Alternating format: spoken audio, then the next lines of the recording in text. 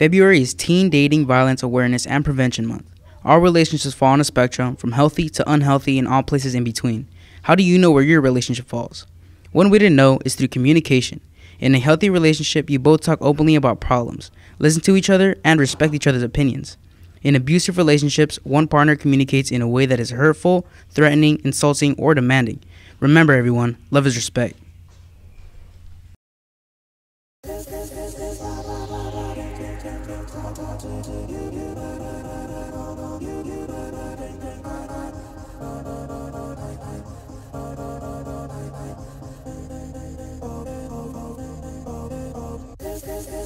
Good morning, Fallbrook. Good morning, Fallbrook. Good morning, Fallbrook. Good morning, Fallbrook. My name is Evelyn. Today is Friday, February 10th, and these are your morning announcements. Please stand for the pledge.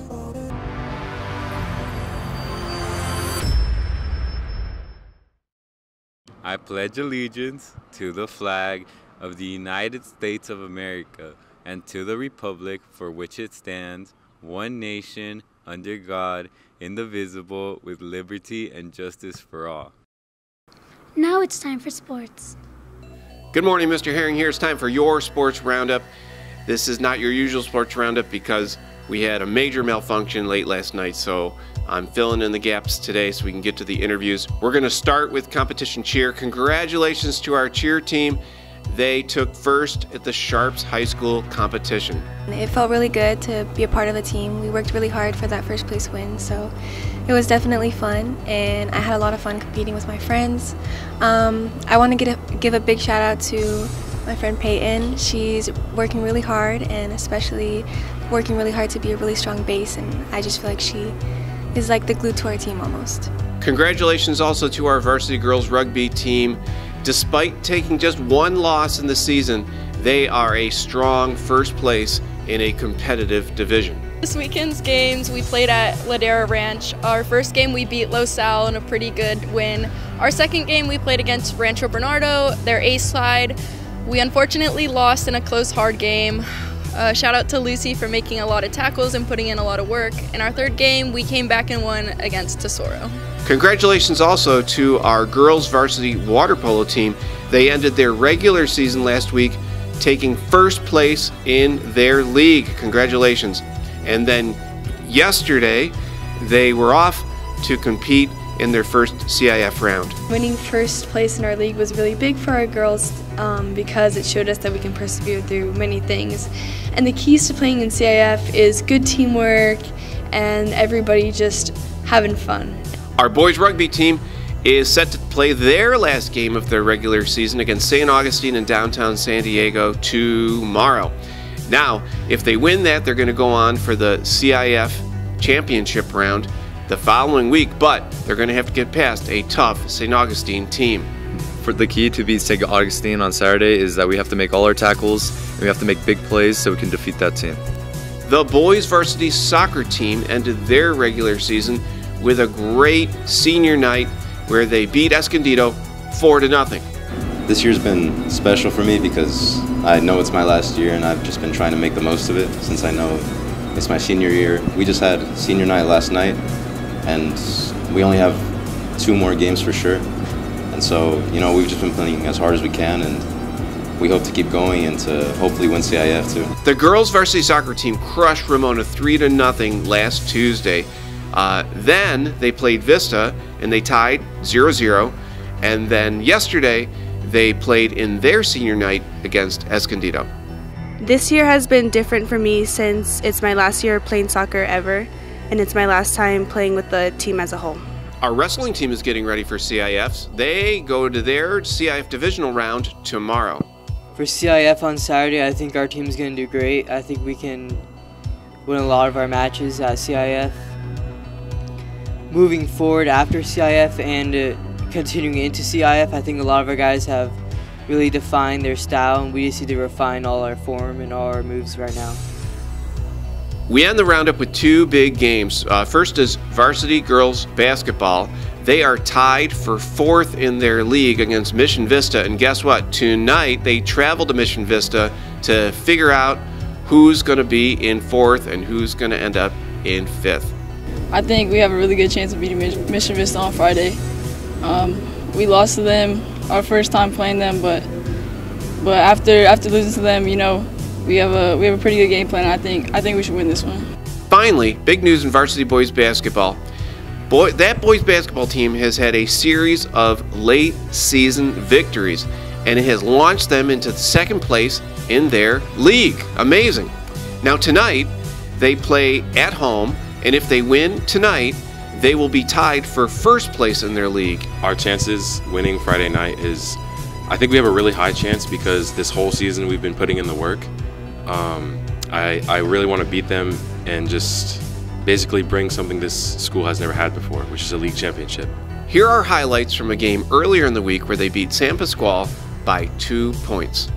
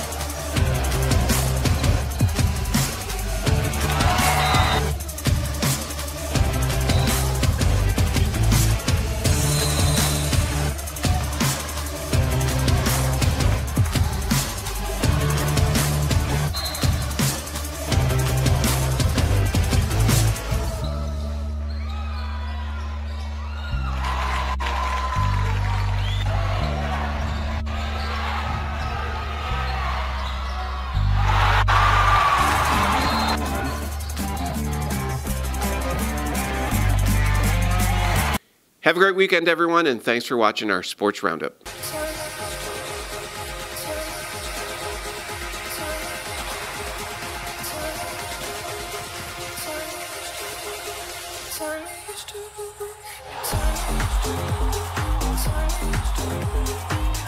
Are you interested in playing boys lacrosse, also known as the fastest sport on two feet? Tryouts will be held Saturday, February 11th from 10 a.m. to noon on the football field. There's no experience required, just bring yourself and some cleats, and all other gear will be provided. We need new players, so I encourage you to come and try out. Come join us on the road to victory as we chase a CIF championship for the first time in program history. See you there.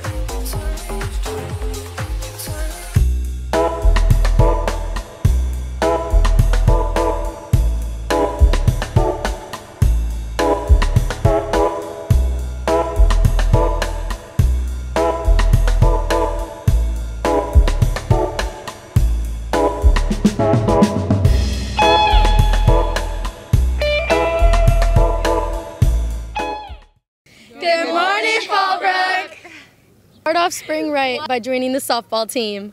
Tryouts are on February 13th and 14th from 3:45 to 5:15. Tryouts will be held at the varsity softball field located next to the district office. Make sure you get your athletic clearance turned in before tryouts. See the athletic office for more details. See you there!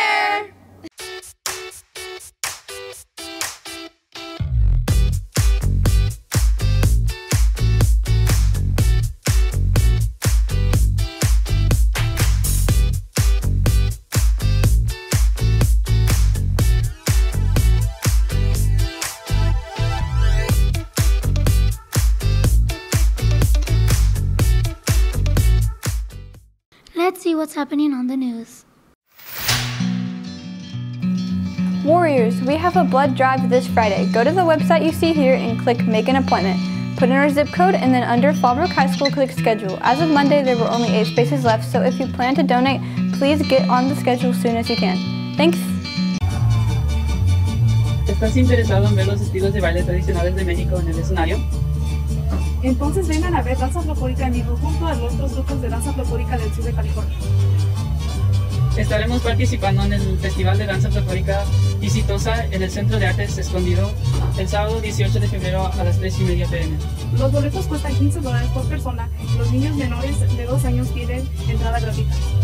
Pueden comprar los, los boletos en el siguiente sitio web www.artcenter.org. En la página de calendarios de eventos localice los siguientes detalles.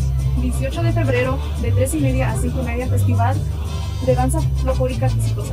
Compren los boletos con el código FABROC3 y agréguelos al carrito. Ven a apoyar a nuestro grupo en nuestra mayor presentación hasta ahora. Are you interested in seeing traditional dance styles of Mexico on stage? Then come and see Danza Folclorica perform live along with other folkloric dance groups from Southern California.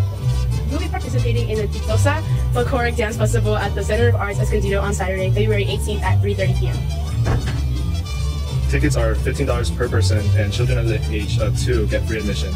You can purchase the tickets at the following website www.artcenter.org in the event calendar page, locate under the following details.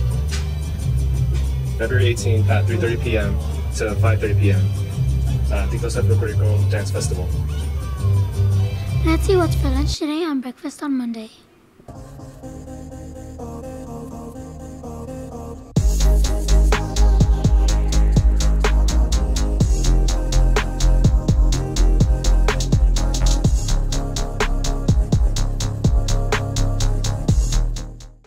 Have a great weekend, everyone.